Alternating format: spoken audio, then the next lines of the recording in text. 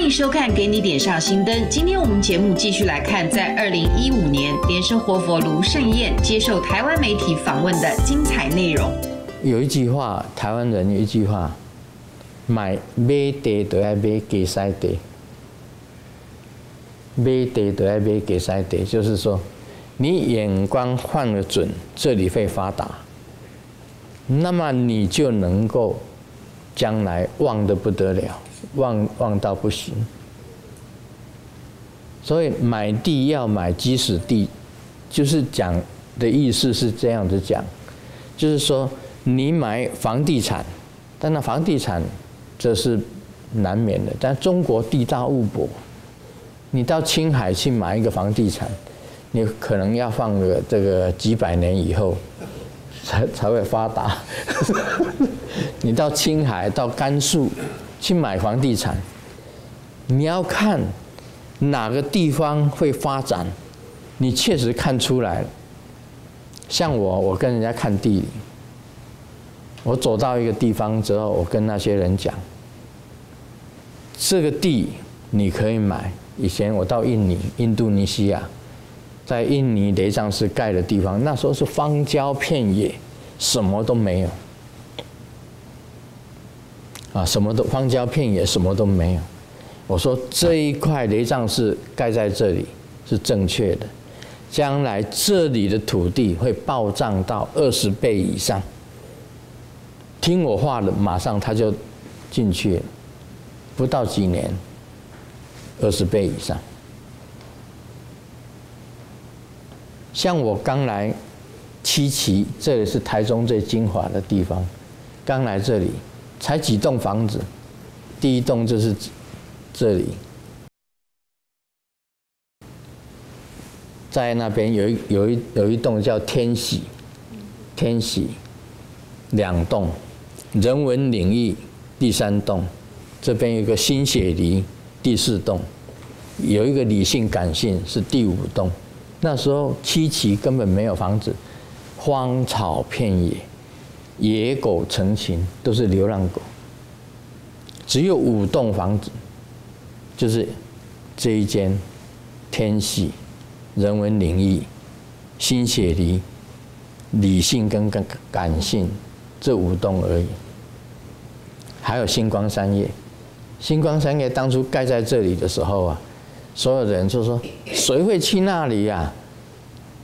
全部那荒郊野外，他去了百货公司，去星光三业，没想到星光三业现在是赚钱最多的星光三业，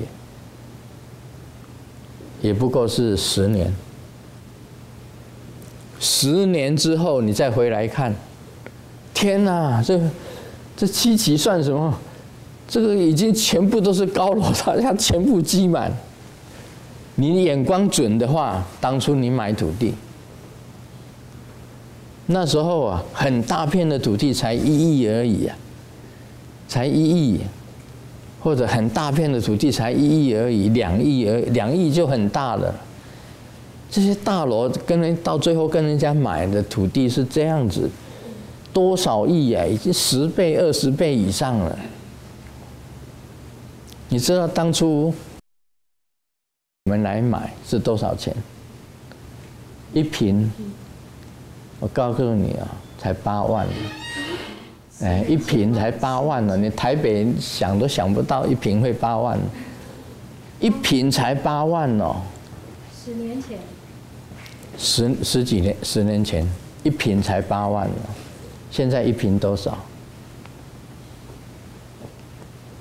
我是人家讲说六十，六十万，但是你知道，在中国买房地产。你要看准，你去看，我曾经帮人家看了，去看荒郊野外，那个山，几几座山，啊，山底下一个旷野，根本就无人居住，人人都是全部都是树林、狗的地方。我跟人家讲说，这里会发达。我说这个地方会发达。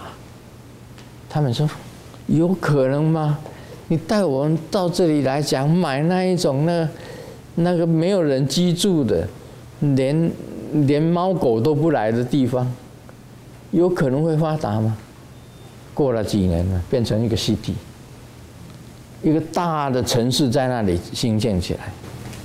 所以是就是你去那边看是看那个风水很好，还是你是去那边问他们的土地公？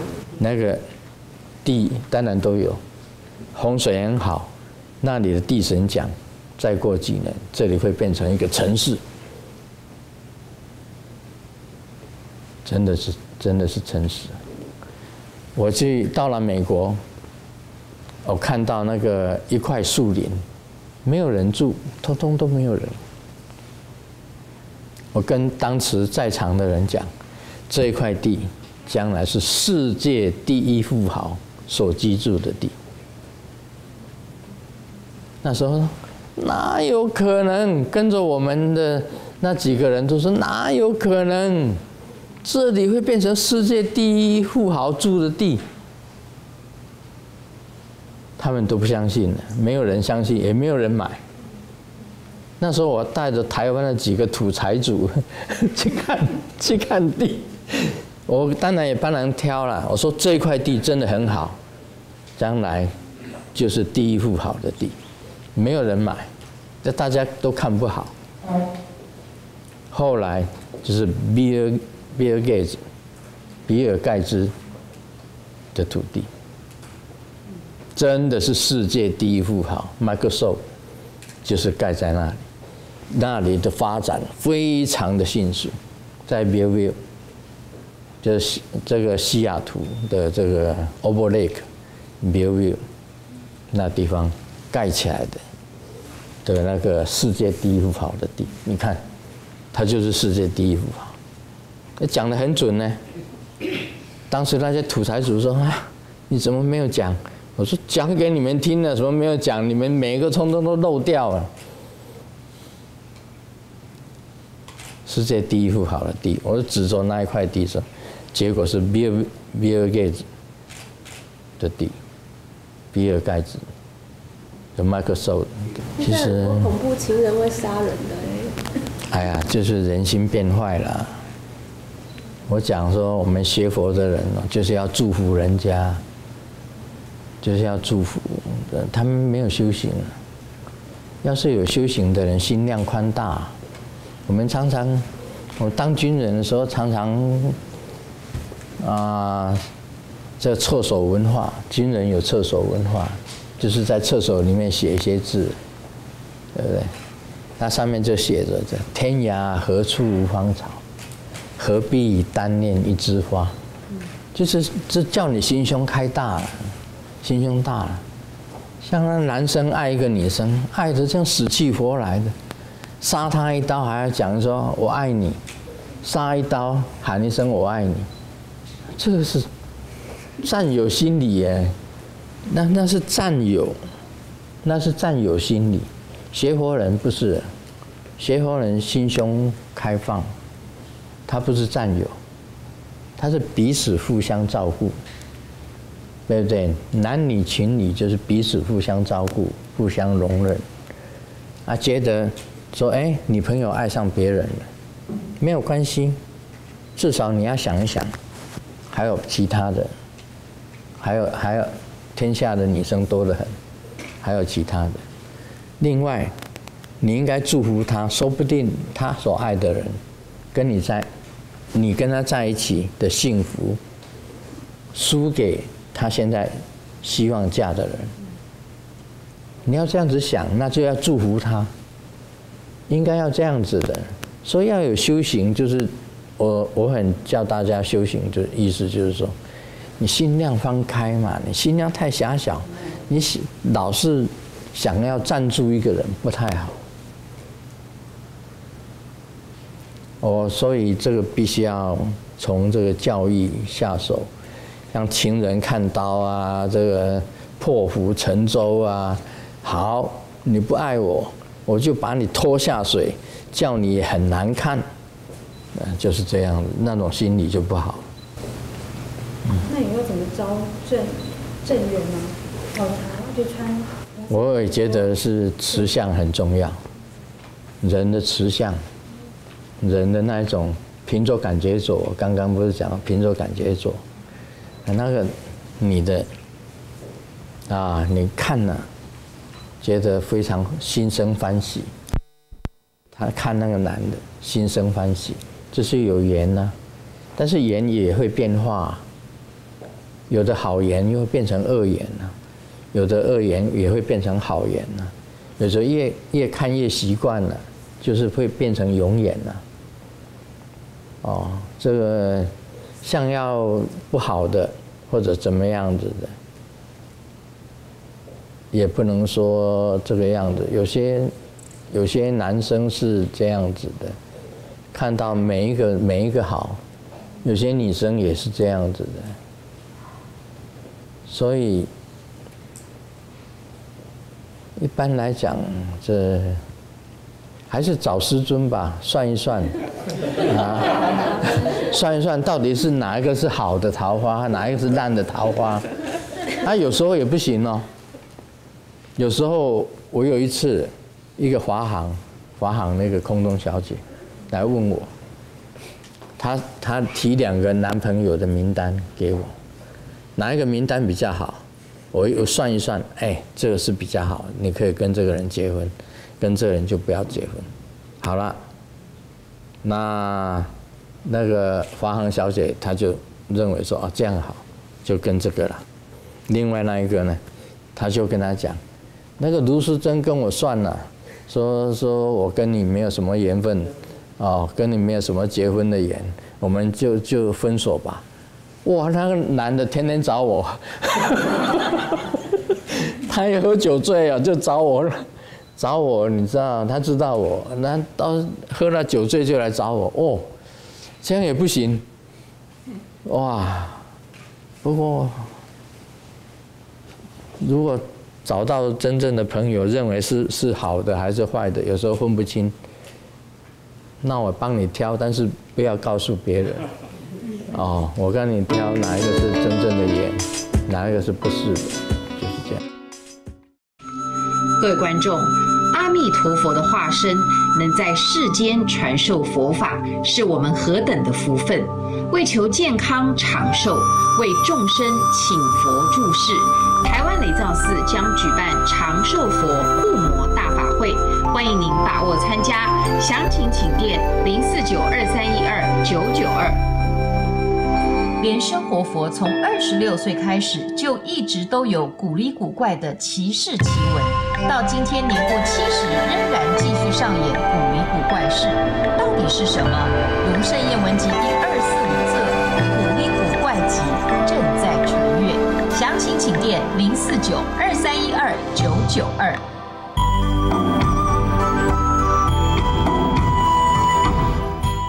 其实你帮我们挑六幅画好吧？荷下于田田，这是一个荷花，不过这个荷花是属于好像是印象派的，印象派的。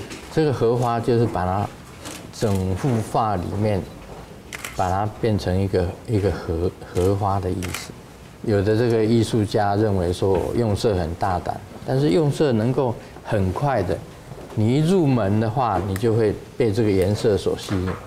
那么底下有很多鱼啊，鱼好像活的，因为画画就是说有一个静的，就必须要有一个动的，啊，一静一动，那么一深一浅，那么有浓的地方，有淡的地方，淡的地方我就写字，它的意义就是在河下鱼田田呢，就是这是这些鱼在那边游都是很快乐的。而且都能够非常的丰足，吉祥如意的意思，吉祥如意。这只是画一只鸡，但是这只鸡啊，是属于动的，是属于动的，哎，动的。其实应该讲起来，要再画一个东西出来。所以因为只是它是动的，但是用这个诗啊去配合，就会比较比较出色一点。鸡是代表吉祥如意啊，玉叶金枝林子正啊，朝兰翡翠凤齐鸣，这个是意象派的你知道那个像天西点灯的点那个灯啊，到了虚空之中啊，虚空中本来是黑色的，那灯有一点红色的，那么印象中里面的纸是黄色的，啊，就是把它意象印天灯的印象，是属于印象派的，印象派，这个是祝福的意思，意思，对，因为天灯都是在做祝福嘛。祝福的意思。灯应该是动的，那天是静的。这鱼本来是最自在的啦，鱼本来就是最自在。对，画里面很多鱼，但是这个鱼呢，其实鱼有很多很多种，鱼有很多很很多种的鱼。那么鱼呢，形状各有不同，你怎么画都是鱼，只要它是活的，一看是鱼。而你看嘴巴张那么大，它嘴巴张的大，当然吃的多了。嘴巴张的大，而且很活啊，看起来很活。它们都是在游泳，而且是很很凶猛的那一个姿势。一般来讲，鱼呢，你画两条也可以，三条，但是两条以后重叠，这两条重叠，就显出它的艺术出来。啊，再补一些这个水水里面，对，其实白色的就代表水的了，都可以代表，然后绿色的就代表水草，嗯，鱼本来是很自在的，但现在捕鱼的人太多，它就不自在了。这话就是属于有点抽象化啊，你看有蝴蝶，有花，对不对？有莲花，就是像一个梦境一样，就蝶恋花的一一种一种梦境在里面。哎，对，这就有点抽象，抽象跟意象之间，抽象跟意象，这幅画蛮有意思的，蛮有意思在里面，有它的意义在里面。这是松跟鸟，松跟鸟啊。讲同心同德，同心同德本来是祝福了。你写给人家的那个匾呢、哦，你赠给这个夫妻啊，人家结婚呐、赠一个匾给他，可以写同心同德，同心同德。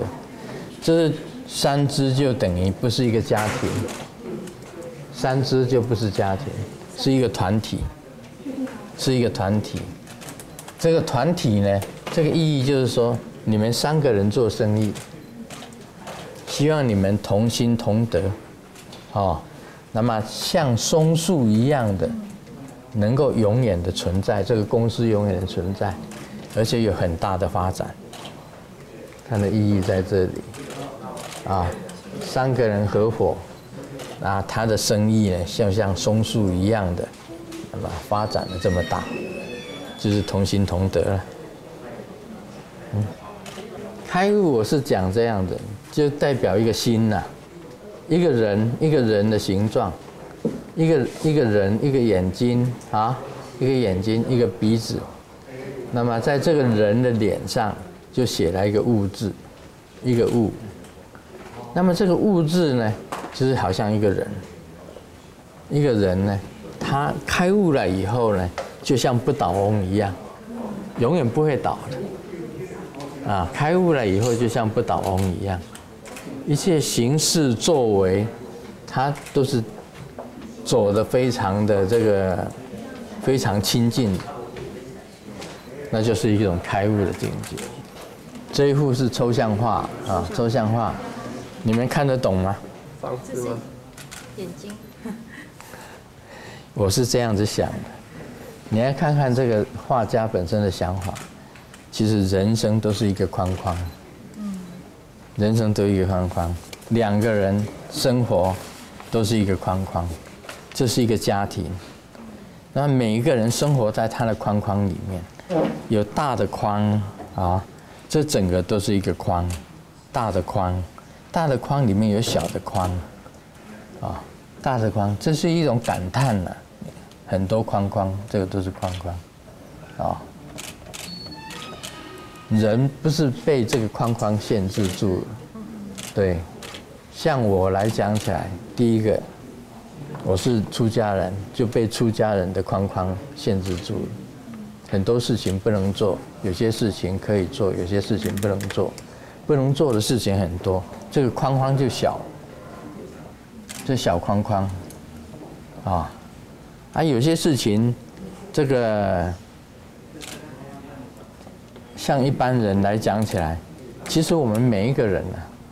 在房子里面也是一个框框，事业也是你的框框，爱情也是你的框框，啊，而你的这个经济也是你的框框，你的人事也是你的框框，啊，任何事情都是在窗子里面的，窗子有大有小，你必须要把这些框框都拿掉，你才能够完全自在。这上面提说感恩的意思，就是说我们活在这个框框里面，活在这个这个生命，活在这个框框里面，但是必须要发光发亮，就是在黑暗的时候，你也能够发出你的亮光；在一般比较亲近的时候，你也能够发出你的亮光。我们活在框框里面，这地球也是一个框框啊，你离不开这个地球。宇宙也等于是一个很大的框框啊，你坐在飞机上，飞机就变成你的一个框框了，对不对？你的公司就变成你的一个框框，你做的职位也是一个框框，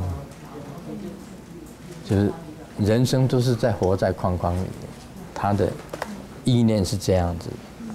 但是要要感恩的意思是说，虽然有这些框框，但是你也能够发出光。所以说，您呃这么多，为什么会有这么多灵感？这些？因为可能看人生看得太透了，人生看得透了，你自然有灵感。而且天地之间呢，都是新闻，新闻中自有天地。啊，新闻中自有天地，天地间都是新闻。